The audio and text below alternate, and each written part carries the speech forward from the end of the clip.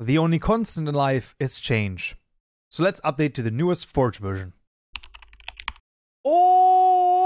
Alright, we found ourselves back in IntelliJ once more, and in this tutorial, we're going to be updating our Forge 119 project to the newest Forge version. Now, the reason why we're doing this is because there were actually some breaking changes. I believe that there were two different versions that actually broke a lot of things.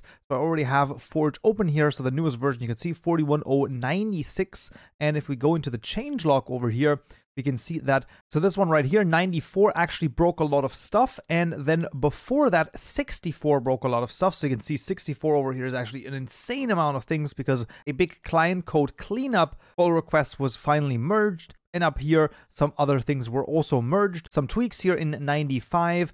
So from what I've seen at the moment, Forge says that there shouldn't be any more crazy changes that break everything. So if you update to 41096 or if it's a newer version for you, then that's also fine. It should, in theory, all work.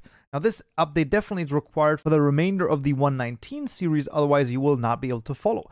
So, how do we update? We're just going to go into the build.gradle file all the way down here and just change it to 96 it was, and let's just build this. So, when you load the Gradle changes, this can take anywhere from a few seconds to maybe a minute, two minutes, three minutes. I believe the first time I did it, it took about three minutes. It just took two seconds because I already downloaded everything and it's basically all still cached. So then some changes will emerge. So first of all, the first change is going to be this client one over here because of course the client stuff has changed. Now, that is no worries at all. We're going to be able to, well, basically deal with this in just a moment. But there are also, I believe, two other changes. One of them is in the villager class. Yep, the professions over here was just renamed to villager professions. The rest should stay the same. And I believe that is actually all of the changes in terms of code. The set render layer method here is in this case actually deprecated. So if we go into this, you can see we can either set our render layer via the JSON model file or override some stuff. Now I'm actually going to show you the JSON file way, and this is actually, I find this really, really awesome. Because what we can do is we can of course see that we're basically setting the render layer for the blueberry crop over here.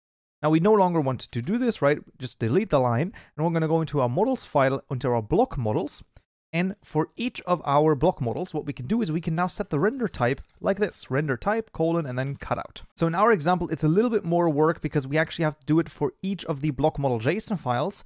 However, still, if you have a normal block that has a different render type, you can now supply that via the JSON file, and this will actually completely work. So these are actually the two only changes that we have to do luckily, but like I said, in the future tutorials, things might look a little bit different. Well, whatever the case may be, let's go into the game and see if it works. Alright, so we find ourselves in Minecraft, and we can already see over here the crop still has, you know, basically it has see-through colors, so everything is still working exactly how you would expect it to. Right, a very short tutorial, but still a very important one because as I've said, you know, the changes are breaking for most other stuff, especially the things that are coming in the next tutorials. But that will be it for this one right here. Hope you found this useful and you learned something new, and I'll see you all in the next tutorial. So, yeah.